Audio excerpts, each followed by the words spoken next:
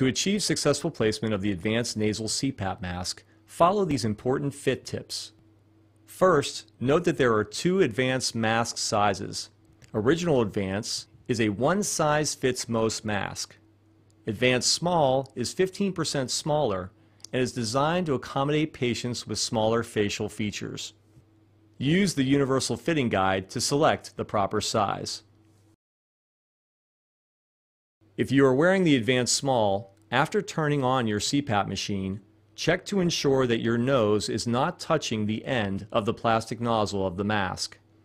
If your nose is touching the nozzle, this mask is not large enough and you may require Original Advance or the Elan nasal mask.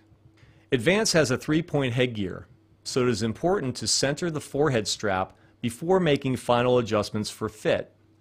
The forehead strap should be snug but not tight, as doing so may cause unwanted irritation under the nose.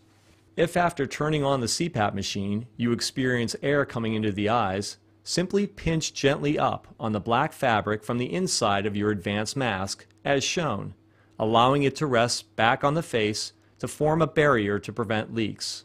It is normal to see some of the black fabric at the top of the mask after making this adjustment. We hope that you have found this quick fit tip video helpful and that you will find the Sleepweaver Advance Soft Cloth CPAP mask to be the most comfortable and best fitting mask you have ever worn.